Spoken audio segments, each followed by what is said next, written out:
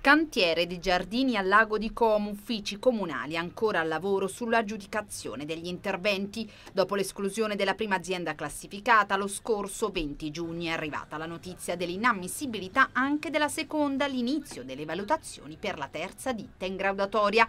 La seconda impresa ha poi fatto ricorso al TAR che ha accolto la sospensiva.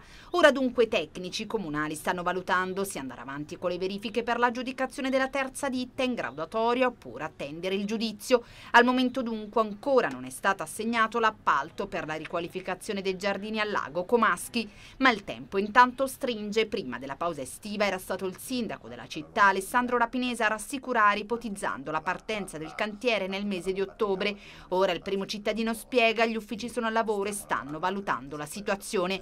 Un solo mese dunque alla partenza degli attesi lavori qualora le verifiche da parte del comune sulle restanti imprese classificate vadano a buon fine. Alla manifestazione per l'assegnazione dei lavori di riqualificazione dei giardini al lago cittadini in totale avevano partecipato 57 operatori economici, 8 gli ammessi di cui 2 con riserva. La durata dell'appalto è di un anno ed il valore complessivo supera i 2 milioni e 700 mila euro. Al momento dunque il cantiere non è stato ancora assegnato.